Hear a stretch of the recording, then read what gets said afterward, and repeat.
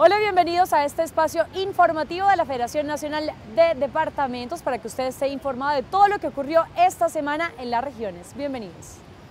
El director de la Federación Nacional de Departamentos, Carlos Camargo Asís, asistió en Cartagena a la inauguración de los Juegos Nacionales 2019, mostrando su apoyo a las justas deportivas más importantes de Colombia. Estas justas deportivas, estas disciplinas que se desarrollarán en la ciudad de Cartagena y en las diferentes subsedes de estos Juegos Nacionales y Paranacionales 2019 tienen que tener una constante, tienen que tener un común denominador, llenos de optimismo, de alegría, de felicidad, de unidad sobre todo. Y hoy aquí con este grupo selecto de gobernadores vinimos a darle un mensaje a Colombia, a nuestro país y al mundo, precisamente de que estamos unidos en pro de las causas nobles de este país. En Boyacá, en el marco del programa anticontrabando de la Federación Nacional de Departamentos, se reafirmó el compromiso de entidades públicas y privadas en la lucha frontal en los departamentos contra el comercio ilegal de cigarrillos y licores.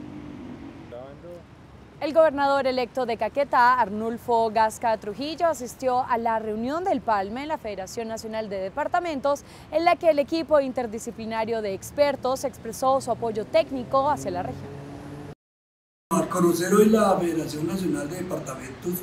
y conocer el equipo que el doctor Carlos Camargo, director de la Federación, nos ha presentado en este día, pues nos vamos muy contentos, complacidos de haber podido conocer este gran equipo que hay en la Federación, donde nos han brindado un gran apoyo, un gran respaldo y nos ha generado una gran expectativa de toda la política nacional, donde va a ser la Federación un ente de mucho apoyo para nosotros en el departamento del Caquetá.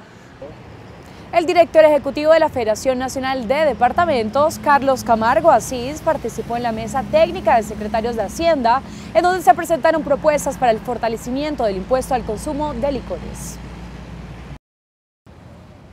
Integrantes del grupo anticontrabando liderado por la Federación Nacional de Departamentos acompañaron al grupo operativo de Bolívar a realizar operativos de control en establecimientos de comercio con el fin de identificar la ilegalidad en los cigarrillos.